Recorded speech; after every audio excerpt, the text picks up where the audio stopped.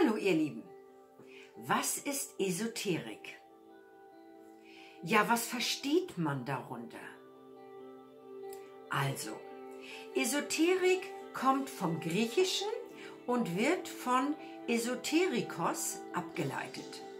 Man bezeichnet die Esoterik ursprünglich als Wissen, dessen Verständnis eine philosophische Vorbildung voraussetzt.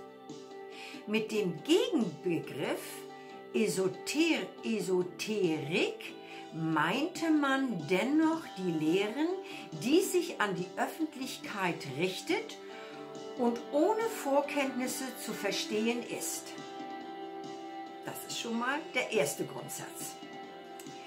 Ursprünglich ist die Bedeutung des Begriffes Esoterik eine philosophische Lehre die nur einem begrenzten Personenkreis zugänglich war. Wissenschaftlich gesehen haben sich zwei grundlegend verschiedene Verwendungen dieser Bezeichnungen etabliert.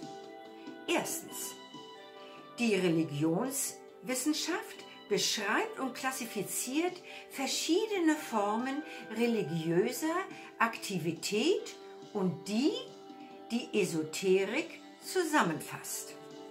Und zweitens, die Geschichtswissenschaft hingegen befasst sich mit bestimmten Strömungen der westlichen Kultur, die gewisse Ähnlichkeiten aufweisen und historisch miteinander verbunden sind.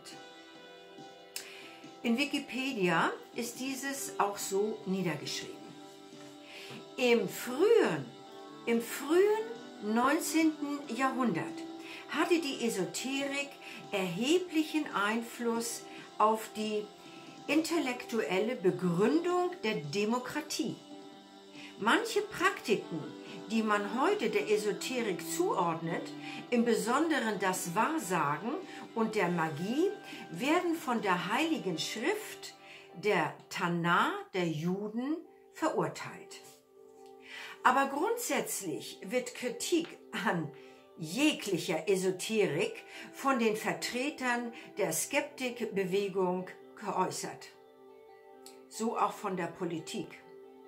Doch wie so oft relativiert sich auch das.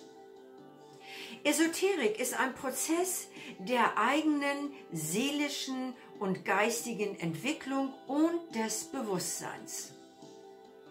Wenn du ihn gehst, gewinnst du deine innere Freiheit im Ganzen. Brauchst du aber Hilfe, bin ich für dich da, in Rat und Tat.